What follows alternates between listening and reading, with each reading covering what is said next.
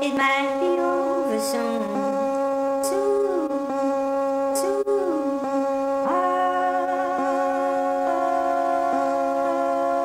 might be over